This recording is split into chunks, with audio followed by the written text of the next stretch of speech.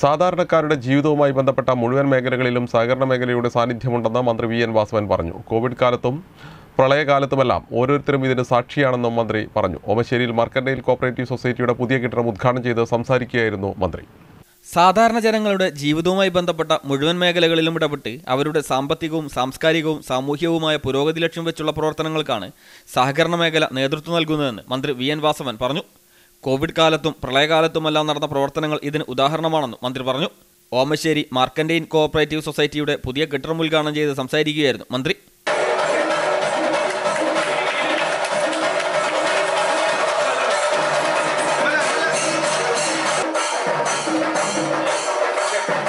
സംസ്ഥാനത്ത് പ്രളയക്കെടുതി മൂലം വീട് നഷ്ടപ്പെട്ടവർക്ക് രണ്ടായിരത്തി ഇരുന്നൂറ് വീടുകൾ നിർമ്മിച്ച് നൽകിയ ഏക സർക്കാർ ഇതര വകുപ്പ് സഹകരണ മേഖല മാത്രമാണ്.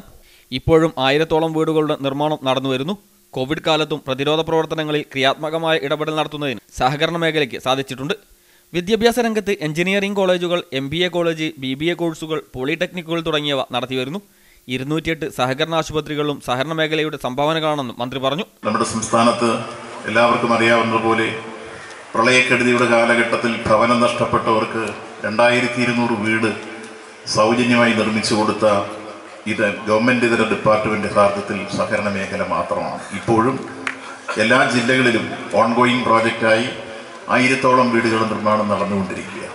അപ്പോൾ ഒരു പ്രതിസന്ധിയും പ്രയാസവും വരുമ്പോൾ ആരാണ് ആദ്യം ഓടിയെത്തുന്നതെന്ന് മനസ്സിലാക്കാൻ അത്തരത്തിലുള്ള സംഭവങ്ങൾ മതി കോവിഡിന്റെ രൂക്ഷത നമ്മുടെ നാട്ടിൽ ഉയർന്നു വന്നപ്പോൾ ആ കോവിഡ് കാലഘട്ടത്തിൽ കമ്മ്യൂണിറ്റി കിച്ചൺ ആരംഭിക്കാൻ ഇ പി കിറ്റ് നിർമ്മിക്കാൻ മാസ്ക് നിർമ്മിക്കാൻ ഹാൻഡ് വാഷ് നിർമ്മിക്കാൻ അതേപോലെ തന്നെ അതിന്റെ പ്രതിരോധ പ്രവർത്തനങ്ങൾ എന്തെല്ലാം വേണമോ അതിലെല്ലാം ഇടപെടാൻ സഹകരണ പ്രസ്ഥാനങ്ങൾ മുന്നോട്ട് വന്നു.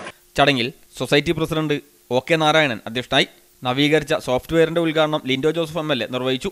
ആയുർവേദ ആശുപത്രി P T Rahim M L A ഉദ്ഘാടനം ചെയ്തു. Auditorium V K C Muhammad ഗോയയാണ് ഉദ്ഘാടനം ചെയ്തത്.